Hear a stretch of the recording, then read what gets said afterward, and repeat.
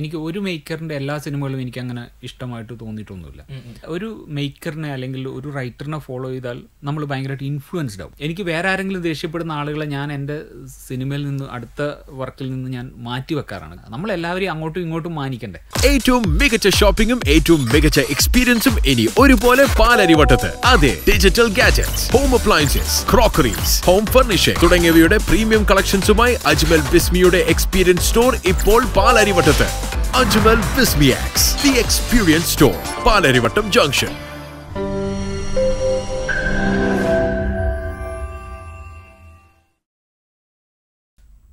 Hi, hello. And welcome to the show melting point ഞാൻ RJ Vivek. എന്റെ തൊട്ടപ്പുറത്തിരിക്കുന്ന വ്യക്തി വ്യക്തിയെക്കുറിച്ച് പറഞ്ഞു തുടങ്ങുകയാണെങ്കിൽ ഒരു ആറ് ആറാം ക്ലാസ്സിൽ പഠിക്കുന്ന ഒരു പ്രായത്തിൽ കലാപ്രതിഭ അവാർഡൊക്കെ കിട്ടിയപ്പോൾ അത് പൊക്കാൻ കഷ്ടപ്പെട്ടിരുന്നു എന്ന് ഞാൻ പറഞ്ഞു കേട്ടിട്ടുണ്ട്. ശരിയാണോ? ആ അത് കാരണം അന്ന് ആറാം ക്ലാസ്സിൽ അഞ്ചാം ക്ലാസ് തൊട്ടിട്ടുള്ള കുട്ടികൾ പത്താം ക്ലാസ് വരെയുള്ള ആളുകളായിട്ടാണ് കോമ്പീറ്റ് ചെയ്യുന്നത്. അപ്പോൾ അതിൽ ഏറ്റവും പ്രായം കുറഞ്ഞ സമയമാണല്ലോ. പിന്നെ അങ്ങനെ ബുദ്ധിമുട്ട് എന്ന് പറയാൻ എന്റെ കൂടെ കലാതിലവും ഉണ്ടായിരുന്നു. അപ്പോൾ എല്ലാം കൂടെ എല്ലാവരും കൂടെ ഹെൽപ്പ് ചെയ്തിട്ടൊക്കെ. അന്നൊരു അവാർഡ് കിട്ടിയപ്പോ എല്ലാരും കൂടെ ചേർന്നിട്ടാണ് സ്റ്റേജിൽ പൊക്കിയെടുത്തത്.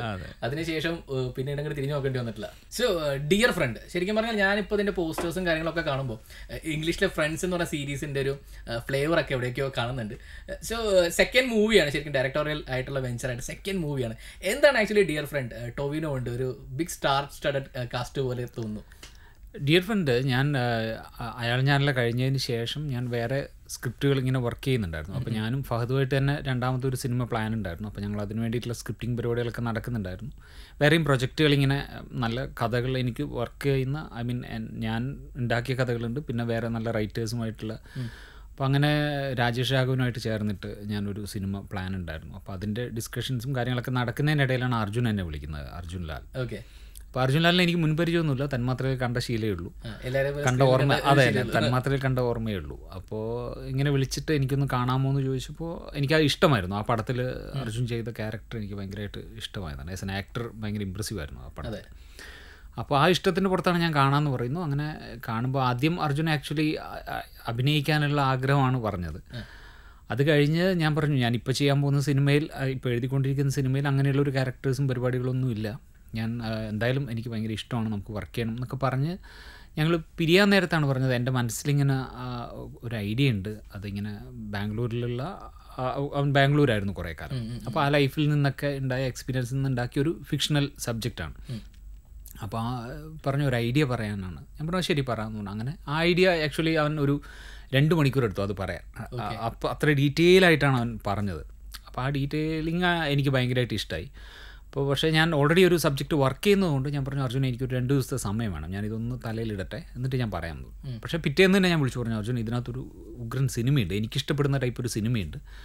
ഞാനത് നമുക്ക് നോക്കാം. എങ്ങനെയാണ് പരിപാടികൾ നോക്കാം എന്ന് പറയുന്നു. അത് കഴിഞ്ഞിട്ടുള്ള ഞാൻ വീണ്ടും അടുത്തൊരു മീറ്റിങ്ങിൽ എനിക്ക് കുറച്ചുകൂടെ കാര്യങ്ങൾ അറിയണം എന്ന് പറഞ്ഞു. അങ്ങനെ ഞാൻ കുറച്ചുകൂടെ ആ ആ കഥയും അവന്റെ ലൈഫിന്റെ കാര്യങ്ങളൊക്കെ കുറച്ചുകൂടെ ചോദിക്കുന്നു.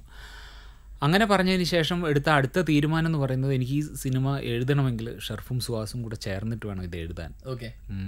പിന്നെ ഷൈജു ഖാലിദ് ക്യാമറ വേണം.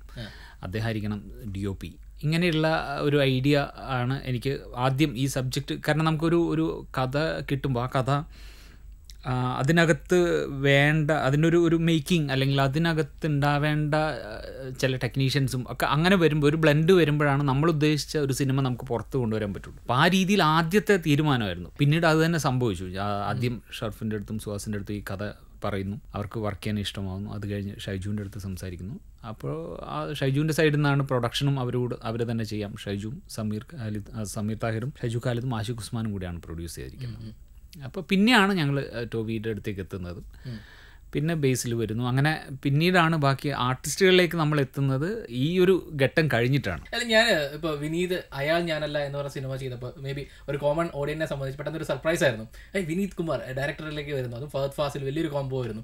ഇപ്പോൾ രണ്ടാമത് വരുമ്പോഴത്തേക്ക് രണ്ടാമത്തെ പടം ചെയ്യുമ്പോൾ ടോവിനോ പോലെ നമ്മൾ ശരിക്കും പറഞ്ഞാൽ ലീഡിംഗ് ആയിട്ട് നിൽക്കുന്ന കുറേ ആക്ടേഴ്സും കാര്യങ്ങളും വെച്ചിട്ട് നമ്മൾ ട്രെൻഡിങ് ആയി നിൽക്കുന്ന സബ്ജക്ട്സ് ആണ് സംസാരിക്കുന്നത്. അതിനകത്ത് സീരിയസ് ആയിട്ടുള്ള സംഭവം ഉണ്ട് പക്ഷേ ലൈറ്റ് ആയിട്ടുള്ള കോമഡി ഉണ്ട് ഫിക്ഷൻ ഉണ്ട്. അങ്ങനെ ഒരുപാട് കാര്യങ്ങൾ ചേർന്നിട്ടുള്ള ഒരു സംഭവമാണ് വിനീത് ചെയ്യുന്നത്. അപ്പോൾ വിനീത് ഒരു ഡയറക്ടോറിയൽ വെഞ്ചറിലേക്ക് വരുന്നത്. ഒരു വ്യക്തമായിട്ടുള്ള ഒരു പ്ലാൻ ആയിരുന്നു. നേരത്തെ പറഞ്ഞ ഒരു പ്ലാനിങ് ഉണ്ടായിരുന്നു. ഞാൻ എന്റെ അച്ഛൻ ഫോട്ടോഗ്രാഫറാണ് അപ്പോൾ വീട്ടിൽ വീഡിയോ ക്യാമറ പണ്ട് തൊട്ടേ ഉണ്ടാവുമായിരുന്നു. എന്റെ സ്കൂൾ ടൈം തൊട്ട് വീട്ടിലുണ്ടാവും. ക്യാമറ ഉണ്ടാവും. കുട്ടിക്കാലത്ത് തന്നെ എനിക്ക് ഒരുപാട് ഷോർട്ട് ഫിലിംസും അങ്ങനെയൊക്കെ ഷൂട്ട് ചെയ്യാൻ പറ്റുമായിരുന്നു. ഷോർട്ട് ഫിലിം എന്ന് പറയുന്നത് ഭയങ്കര പ്രൊഫഷണൽ പരിപാടിയൊന്നുമല്ല. അനിയനെയും അനിയത്തിനെയൊക്കെ കാൽ പിടിച്ച് അന്ന് അങ്ങനെയാണ്. പിന്നെ എഡിറ്റ് എന്ന് പറയുന്നത് രണ്ട് വി സി ആർ വെച്ചിട്ടാണ് ചെയ്യുക. ഒരു വി സി ആറിൽ പ്ലേ ചെയ്യും. മറ്റേതിൽ റെക്കോർഡ് ചെയ്ത്. അങ്ങനെ നമുക്ക് വേണ്ട ലെങ്ത്തും ഷോട്ടൊക്കെ അങ്ങനെ പിടിച്ചിട്ടിട്ടൊക്കെയാണ് ചെയ്യുക. എന്റെ ആഗ്രഹം ഞാൻ അന്ന് ഈ പറയുന്ന ടെക്നീഷ്യൻസിന്റെ അടുത്തും നമ്മുടെ സുഹൃത്തുക്കളുടെ അടുത്തൊക്കെ ഞാൻ പറയും എനിക്ക് സിനിമ ഫിലിം മേക്കർ ആവുക എന്നുള്ളതാണ് എന്റെ പാഷൻ എനിക്കതാണ് ഇഷ്ടം. കാരണം കഥകൾ ഒരുപാട് എനിക്ക് പറയാനുണ്ടെന്ന് എനിക്ക് എപ്പോഴും തോന്നാറുണ്ട്. ആദ്യം ഞാൻ പരസ്യങ്ങളാണ് ചെയ്തുകൊണ്ടിരുന്നത്. അപ്പോൾ അത് പരസ്യം ചെയ്യുക എന്ന് പറയുന്നത് പോലും എന്റെ ഈ പറയുന്ന ബിഹൈൻഡ് ക്യാമറ നമ്മൾ എപ്പോഴും അഭിനയിക്കുമ്പോൾ നമ്മൾ അധികം ടെക്നിക്കൽ സൈഡിലേക്ക് നമ്മൾ പോവില്ല. കുറച്ചുകൂടെ നമുക്ക് അറിയാനും കുറേ നല്ല ടെക്നീഷ്യൻസിന്റെ കൂടെ വർക്ക് ചെയ്യാനൊക്കെ വേണ്ടിയിട്ടാണ് ഞാൻ ശരിക്കും പരസ്യങ്ങൾ ചെയ്തു തുടങ്ങിയത്. ഓക്കെ ശരിക്കും പറയാം മലയാളത്തിൽ ഒരുമാതിരി ഇയർ മാർക്കിംഗ് ആയിട്ട് അല്ലെങ്കിൽ ഒരു ചരിത്രപരമായിട്ടുള്ള സിനിമകൾ നമുക്ക് എന്തെങ്കിലും വലിയ രീതിയിൽ മാറ്റങ്ങൾ കൊണ്ടുവരുന്ന സിനിമകളുടെ ഒക്കെ ഭാഗമായിട്ടുണ്ട് വിനീത് എന്നാണ്. വടക്കൻ വീരകഥ. അതിനകത്ത് അവാർഡ് വരെ കിട്ടി.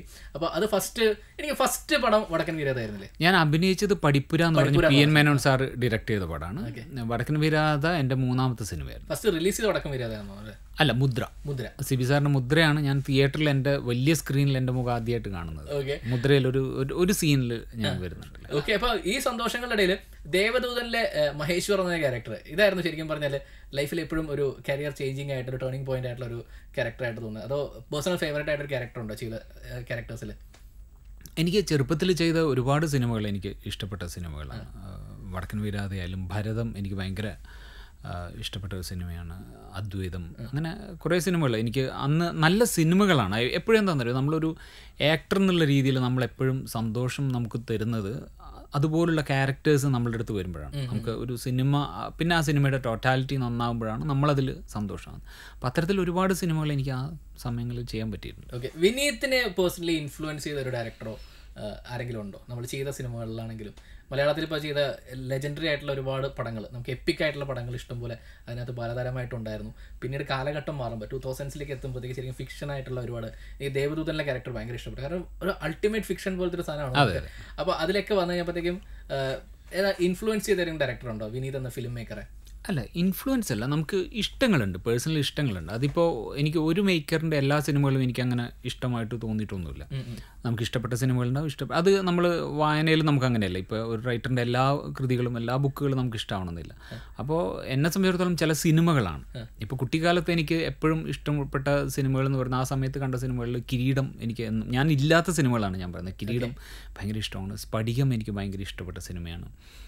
ഭരൻ സാറിന്റെ വൈശാലി എനിക്ക് ഭയങ്കര ഇഷ്ടപ്പെട്ട സിനിമകളാണ്. അമരം ഭയങ്കരമായിട്ട് ഇഷ്ടപ്പെട്ട സിനിമകളാണ്. അപ്പോൾ ഇങ്ങനെ ഒരുപാട് പേഴ്സണൽ ഇഷ്ടങ്ങളുണ്ട് ആ സമയത്തുള്ള സിനിമകൾ. പിന്നെ നമ്മൾ ഫോക്കസ്ഡ് ആയിട്ട് ഒരു ഒരു ഒരു മേക്കറിനെ അല്ലെങ്കിൽ ഒരു റൈറ്ററിനെ ഫോളോ ചെയ്താൽ നമ്മൾ ഭയങ്കരമായിട്ട് ഇൻഫ്ലുവൻസ്ഡ് ആവും. എനിക്ക് അതിൽ താല്പര്യമില്ല. അതുകൊണ്ടാണ് ഞാൻ ഞാൻ ഞാൻ പറഞ്ഞില്ല നേരത്തെ ചോദിച്ച പോലെ ഞാൻ ആരെയും അസിസ്റ്റ് ചെയ്യാതിരുന്നതും ഒരുപക്ഷെ അതുകൊണ്ട് തന്നെയാണ്. ടൂ തൗസൻഡ് ഫിഫ്റ്റീനായി ശരിക്കും പറഞ്ഞാൽ നമ്മൾ ആദ്യത്തെ സിനിമ ചെയ്തപ്പോൾ ഒരു വൈകിപ്പോയി തോന്നിയോ ലേറ്റായി ഞാൻ സിനിമ ചെയ്യാൻ എന്നൊരു തോന്നലുണ്ടായിരുന്നു. കാരണം സിനിമ ഇൻഡസ്ട്രിയിൽ ശരിക്കും വിനീതിന്റെ ഒരു മുഖം നോക്കുകയാണെങ്കിൽ എയ്റ്റീസ് തൊട്ട് ബാലതാരം തൊട്ട് ആ ഒരു കാറ്റഗറി തൊട്ട് ഇന്ന് വരെ ഉണ്ട്. അപ്പോൾ ഇത്തിരി വൈകിപ്പോയി എന്ന് തോന്നിയായിരുന്നു എപ്പോഴെങ്കിലൊക്കെ ഇല്ല അതെന്താണെന്നറിയോ അത് നമ്മൾ ഈ പറയുന്ന ഈ ഒരു ആർട്ട് ഫോമായിട്ട് നമ്മൾ അസോസിയേറ്റ് ചെയ്യുകയാണെങ്കിൽ അത് നമുക്ക് ശ്രദ്ധിച്ചാൽ മനസ്സിലാവും. ഞാൻ ഇതേപോലെ വേറെ മേക്കേഴ്സിന്റെ അടുത്ത് ഞാൻ ചോദിച്ചിട്ടുണ്ട്. ഞാൻ അവരുടെ ഇന്റർവ്യൂസ് ഒക്കെ കണ്ട് ഞാൻ ആ സമയങ്ങളിലൊക്കെ എല്ലാം മൊത്തം ഒരു വലിയ നമുക്ക് ഉണ്ടല്ലോ യൂട്യൂബിൽ ഏതും കാണാം.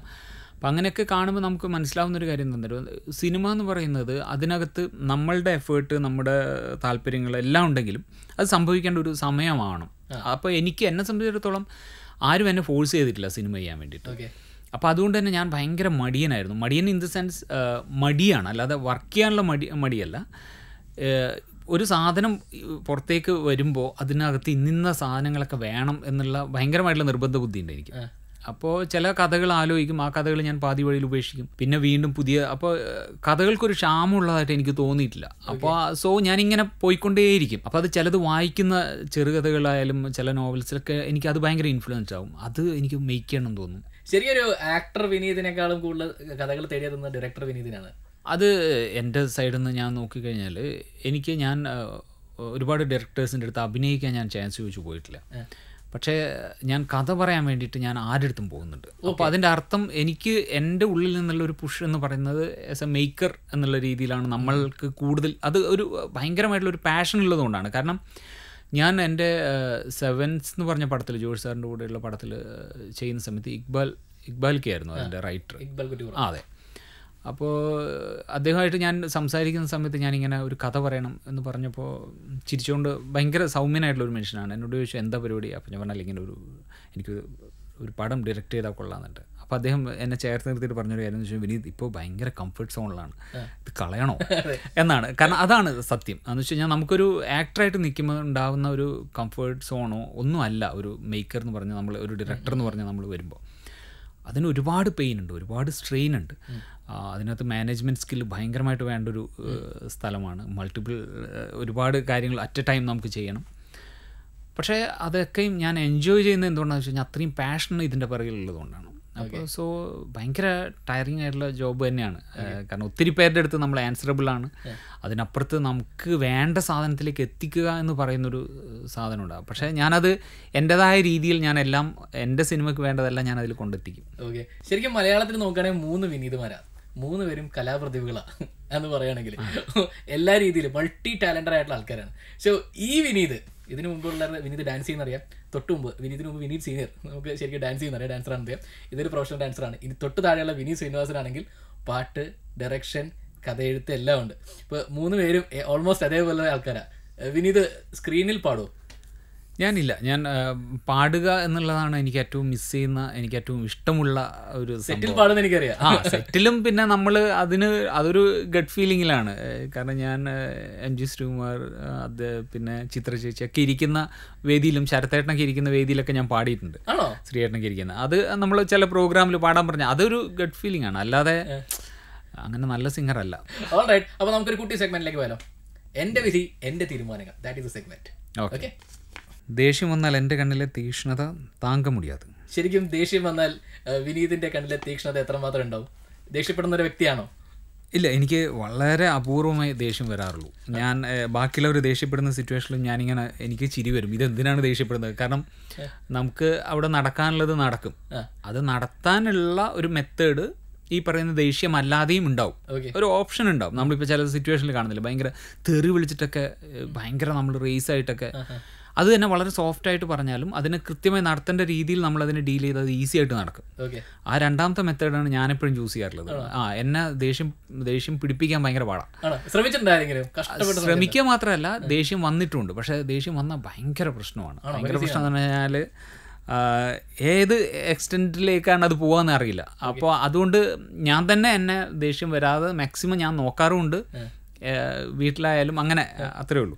സെറ്റിൽ എങ്ങനെയായിരുന്നു സെറ്റിൽ ഇല്ല. സെറ്റിൽ അങ്ങനെ പൊതുവേ ഞാനങ്ങനെ സെറ്റിൽ ഇപ്പോൾ കഴിഞ്ഞ പോടായാലും ഞാൻ ചെയ്യുന്ന പരസ്യങ്ങളുടെ സെറ്റിലായാലും എനിക്ക് വേറെ ആരെങ്കിലും ദേഷ്യപ്പെടുന്ന ആളുകളെ ഞാൻ എന്റെ സിനിമയിൽ നിന്ന് അടുത്ത വർക്കിൽ നിന്ന് ഞാൻ മാറ്റി വെക്കാറാണ്. കാരണം എനിക്ക് സെറ്റ് ഭയങ്കര കംഫർട്ടബിളായിട്ടും വളരെ പീസ്ഫുള്ളായിട്ട് ഇരിക്കണം എന്ന് എനിക്ക് ഭയങ്കര ആഗ്രഹമുണ്ട്. അതല്ലാതെ ആരെങ്കിലും ഒരാൾ അതിനകത്ത് നിന്ന് ആ താളത്തിൽ അല്ലാത്ത ഒരാളുണ്ടായാൽ അത് മൊത്തം എല്ലാവരെയും ബാധിക്കും.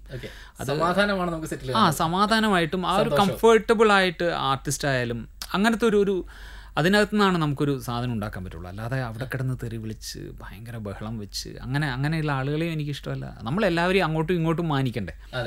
അപ്പോൾ അത് നമ്മളിപ്പോൾ ഒരു ആർട്ടിസ്റ്റിനെ അല്ലെങ്കിൽ വേറെ വർക്ക് ചെയ്യുന്ന കൂടെ ആരെങ്കിലും മൈക്കിലൊക്കെ വിളിച്ച് അങ്ങനെ അങ്ങനെയില്ല. ഞാൻ അടുത്ത് പോയി കാര്യങ്ങൾ ടെൻഷൻ ഉണ്ടാവും. പക്ഷെ ആ ടെൻഷൻ ഉള്ളിൽ തന്നെ ആയിരിക്കും. ആ നമ്മൾ ടെൻഷൻ ഉണ്ടാകുന്ന സിറ്റുവേഷൻസ് ഉണ്ടാവും. സിനിമ എപ്പോഴും അങ്ങനെയാണ്. നമുക്ക് നമ്മൾ പ്രതീക്ഷിച്ച പോലെയുള്ള കാര്യങ്ങളായിരിക്കില്ല. നമ്മൾ രാവിലെ സെറ്റിലേക്ക് ചെല്ലുമ്പോൾ കാണുക. പക്ഷെ ആ സമയത്ത് നമുക്കത് ഡീൽ ചെയ്യേണ്ട രീതിയിൽ നമുക്കത് ഡീൽ ചെയ്യാന്നേ ഉള്ളൂ. ഓക്കെ നമുക്ക് നെക്സ്റ്റ് യെസ് വിനീത് എന്ന പേര് മാറ്റാൻ ഒരു ചാൻസ് കിട്ടിയാൽ ഏത് പേരിടും വിനീത് എന്ന പേര് മാറ്റാൻ ഒരു ചാൻസ് കിട്ടിയ ഏതെങ്കിലും ഒരു പേര് ഇഷ്ടമുള്ള ഒരു പേര് എന്നെ നോക്കി വെച്ചിട്ടുണ്ടോ? ഈ എന്താണെന്നറിയോ ചെറുപ്പത്തിൽ ഈ പറയുന്ന രീതിയിൽ ഓൾറെഡി ഒരു വിനീത് ഇവിടെ ഉണ്ട് എന്നൊക്കെ ഉള്ളതുകൊണ്ട് അങ്ങനെ പേര് മാറ്റുന്നതിനെ കുറിച്ചിട്ട് പലരും സംസാരിക്കുകയും ചോദിക്കുകയൊക്കെ ചെയ്തിട്ടുണ്ടായിരുന്നു പക്ഷേ ഞാൻ ഒറ്റ തീരുമാനമായിരുന്നു പേര് മാറ്റില്ല എന്നുള്ളത്. കാരണം എന്ന് വെച്ച് കഴിഞ്ഞാൽ എനിക്ക് കുട്ടികളുണ്ട്. അപ്പോൾ നമ്മൾ ഒരു പേരിടുന്ന സമയത്ത് നമ്മൾ ഒരു അച്ഛനും അമ്മയോടും കാണിക്കുന്ന ഒരു കാര്യം. അങ്ങനെ തെറ്റാണെന്നൊന്നല്ല പറയുന്നത്. ഇത് എന്റെ പേഴ്സണൽ ഇതാണ്. അവർ വളരെ ആഗ്രഹിച്ചിട്ടൊരു പേര്. അത് മതി. അതിനകത്ത് പിന്നെന്താണെന്ന് പറയുക നമ്മുടെ പേരിലൊന്നും അല്ല കാര്യം. നമ്മൾ ഉണ്ടാക്കുന്ന പ്രൊഡക്റ്റിലാണ്. ആ പ്രൊഡക്റ്റ് ഇതാരാ ചെയ്തേ? എന്ന് അന്വേഷിച്ച് പോയി കണ്ടെത്തുന്ന പേര് ഏത് പേരായാലും നമുക്ക് ഓക്കെയാണ്. ഓക്കെ അപ്പോൾ അതുകൊണ്ട് അങ്ങനെ എനിക്ക് പേര് മാറ്റണം എന്ന് ഇതുവരെ തോന്നിയിട്ടില്ല. അങ്ങനെ വേറൊരു പേരിനെ കുറിച്ച് ഞാൻ ആലോചിച്ചിട്ട് പോലുമില്ല. എനിക്ക് വേണ്ടിയിട്ട് വേറെ ആളുകൾ ഐ മീൻ നമ്മുടെ അഭിനയിക്കുന്ന സംബന്ധിച്ച് ചില ഡയറക്ടേഴ്സും ചിലരൊക്കെ പറയാറുണ്ട്. എന്ത് പേരാണ് സജസ്റ്റ് ചെയ്ത് കേട്ടത്? ഇന്ന ഇല്ല പ്രൊഡ്യൂസിങ് എന്ന് പറഞ്ഞിട്ട്. പല പേരുകളൊക്കെ പറയാറുണ്ട്. പക്ഷെ നമ്മൾ ഇത് താല്പര്യമില്ലാത്തതുകൊണ്ട് ആദ്യമേ അങ്ങ് കട്ട് ചെയ്യും. കാരണം ശ്രദ്ധിക്കുകയില്ല നെക്സ്റ്റ് ക്വസ്റ്റ്യൻ ലൈഫിലെ ടേണിംഗ് പോയിന്റ് ലൈഫിലെ ടേണിംഗ് പോയിന്റ് എന്ന് ചോദിച്ചാൽ ഏതായിരിക്കും വിനീത് കുമാറിന്റെ ലൈഫിലെ turning point turning point actually എന്താണെന്നറിയോ? അറിയോ വളവും തിരിവൊന്നും ഉണ്ടായിട്ടില്ലേ അല്ല ഏതോ ഒരു ഇതുണ്ട്. എത്തും നിയതി ഓരോ വടിവിൽ എന്ന് പറഞ്ഞിട്ട് ഏതോ ഒരു കവിതയുടെ ഒരു ശകലമുണ്ട്. എന്ന് വെച്ച് കഴിഞ്ഞാൽ എല്ലാ ടേൺസ് ആൻഡ് കേവ്സിലും നമുക്കൊരു ഒരു ഫെയ്റ്റും അവിടെ ഒരു ഐ മീൻ ഒരു ടേണിങ് പോയിന്റും ഉണ്ടാവും. നമുക്കറിയില്ല. നമ്മൾ നമ്മൾ ഏതൊക്കെ ആരൊക്കെയാണെന്ന്. കാരണം ഈ പ്രസൻസ് ഓഫ് ഗോഡ് എന്ന് ഞാൻ വിശ്വസിക്കുന്നത് മനുഷ്യരിലാണ്. അപ്പം അങ്ങനെ എന്റെ ഓരോ ഘട്ടങ്ങളിലും എന്നെ ഓരോരുത്തർ ഗൈഡ് ചെയ്ത് കൊണ്ടുപോയിട്ടുണ്ട്. അത് ചിലത് നമ്മളറിയാത്തൊരു ശക്തിയായിരിക്കും നമ്മളെ ആ സിറ്റുവേഷനിൽ നിന്ന് നമ്മളെ മാറ്റിക്കൊണ്ടുപോയി വേറൊരു സ്ഥലത്തേക്ക് എത്തിക്കുന്നത്. നമ്മളുടെ തീരുമാനങ്ങൾ പലതും മാറുന്നുണ്ട്. അതിനൊക്കെ ഒരുപാട് കാര്യങ്ങൾ ഇൻഫ്ലുവൻസ് ചെയ്യാറുണ്ട്. അപ്പോൾ ഒരു ടേണിംഗ് പോയിന്റ് എന്ന് പറയാൻ പറ്റില്ല. ഇപ്പോൾ എന്നെ അനിയത്തി പ്രാവ് എന്നെ അഭിനയിക്കാൻ ഫാസിൽ സാർ വിളിച്ചിട്ടുണ്ടായിരുന്നു. ഓക്കെ.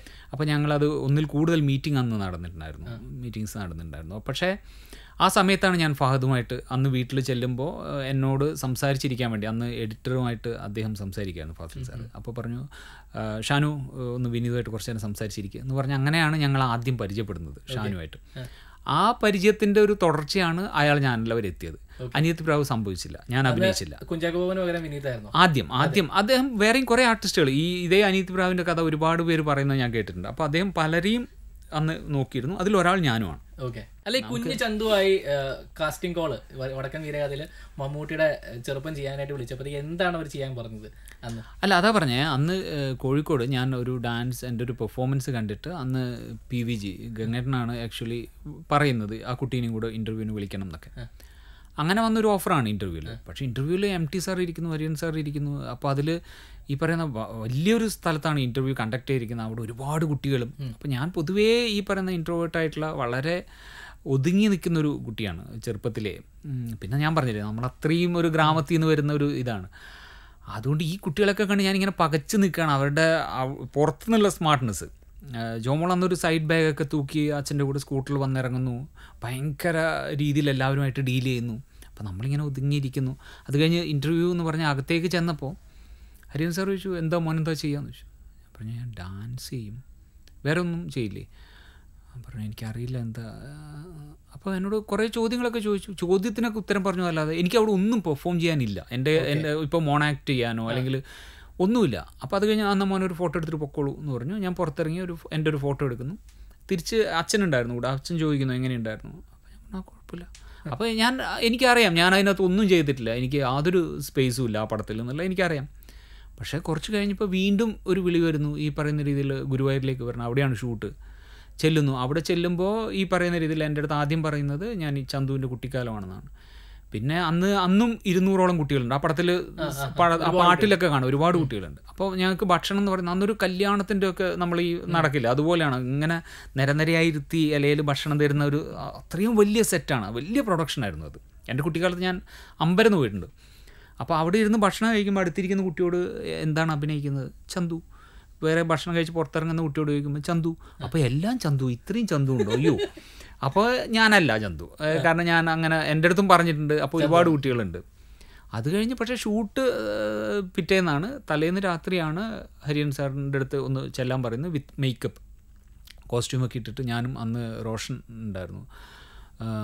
റോഷനാണ് ആരോമൽ ചെയ്യവരുടെ കുട്ടിക്കാലം. അങ്ങനെ ഞങ്ങൾ രണ്ടുപേരെയും ഒരേപോലെ വേഷം ഇട്ട് റൂമിൽ ചെല്ലുന്നു. അവിടെ വെച്ച് എം ടി സാറും ഹരിയൻ സാറും എടുത്ത തീരുമാനമാണ് ചന്തു ഞാനാവണം എന്നുള്ളത്. ഓക്കെ. അപ്പോൾ അത് ഇതൊക്കെ നമ്മൾ പറഞ്ഞില്ല ഓരോ ഘട്ടങ്ങളിലും നമുക്ക് ഇങ്ങനെ ഇങ്ങനെ ഇങ്ങനെ വന്ന് വന്ന് വന്നിട്ടാണ്.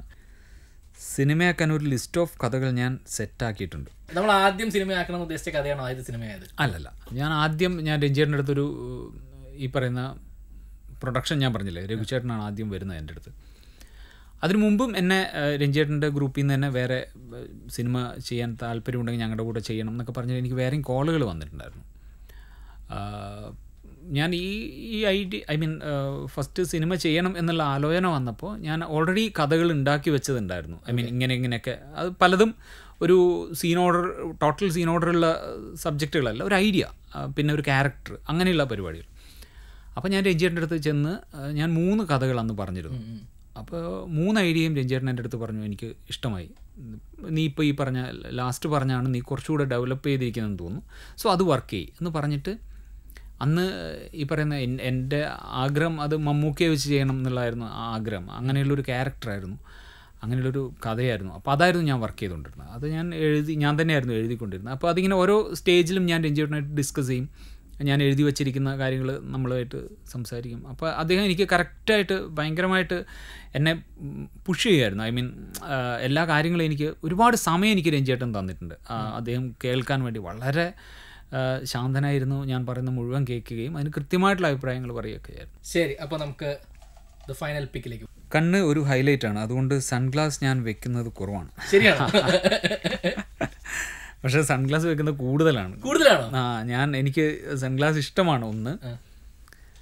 രണ്ട് ഞാൻ പറഞ്ഞില്ലേ അങ്ങനെ അത് പുറമേയുള്ള ആളുകൾക്ക് ഐ മീൻ എന്നെ കാണുന്ന ആളുകൾക്കാണ് നമ്മുടെ പലതും നല്ലതായിട്ടും ഇഷ്ടപ്പെടുകയൊക്കെ ചെയ്യുക പേഴ്സണലി എനിക്ക് അങ്ങനെ ഭയങ്കര ഭയങ്കര നല്ല കണ്ണാണെന്നോ അല്ലെങ്കിൽ ഭയങ്കര നല്ല രൂപമാണെന്നൊന്നും എനിക്കൊരിക്കലും തോന്നിയിട്ടില്ല. ഐ മീൻ അത് വിനയം കൊണ്ട് പറയുന്നൊന്നുമല്ല. നമുക്ക് ഒരുപാട് നമ്മുടെ സൈഡിലുള്ള കുഴപ്പങ്ങളാണ് നമുക്ക് കൂടുതൽ കാണാം പക്ഷേ സൺഗ്ലാസ് വയ്ക്കുന്നത് അങ്ങനെയല്ല. എനിക്ക് ഇഷ്ടമാണ്. പിന്നെ ഡ്രൈവ് ചെയ്യുമ്പോഴായാലും അങ്ങനെ പക്ഷെ എന്ന് വെച്ചിട്ട് പബ്ലിക്കിൽ എല്ലായ്പ്പോഴും സൺഗ്ലാസ് വെച്ച് നടക്കുന്ന ആളല്ല. പൊതുവെ ഒരു അഭിപ്രായമുണ്ട്. വിനീത് എന്ന് പേരിട്ടാൽ മലയാള സിനിമയിൽ എന്നും യങ്ങായിട്ടിരിക്കുന്നു.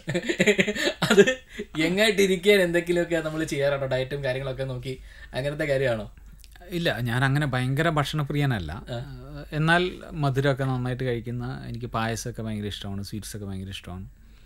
അങ്ങനെ ഭയങ്കര ഡയറ്റ് നോക്കി ജീവിക്കുന്ന ഒരാളല്ല. പക്ഷെ വർക്കൗട്ട് ചെയ്യാറുണ്ട്. ഐ മീൻ ഈ പറയുന്ന നടക്കും അല്ലെങ്കിൽ ഡാൻസ് ചെയ്യും അതല്ലെങ്കിൽ ഈ പറയുന്ന സ്വിമ്മിങ് ഉണ്ടാവും യോഗ അങ്ങനെ എന്തെങ്കിലുമൊക്കെ ആയിട്ട് ചെയ്യും. അല്ലെങ്കിൽ എന്റെ ശരീരം ഒന്നാമത് നമ്മൾ ചെറുപ്പത്തിൽ ഒരുപാട് ഡാൻസ് പ്രോഗ്രാംസും പ്രാക്ടീസൊക്കെ ചെയ്തുകൊണ്ട് നമ്മുടെ ശരീരം അതിന് ട്യൂൺഡാണ് മനസ്സിലാക്കി ഇപ്പോൾ പി ടി ഉഷയ്ക്ക് ഓടാതിരിക്കാൻ പറ്റില്ല എന്ന് പറഞ്ഞ പോലെ അവരുടെ നമ്മുടെ ശരീരം അങ്ങനെ രൂപപ്പെട്ടിട്ടുണ്ട്.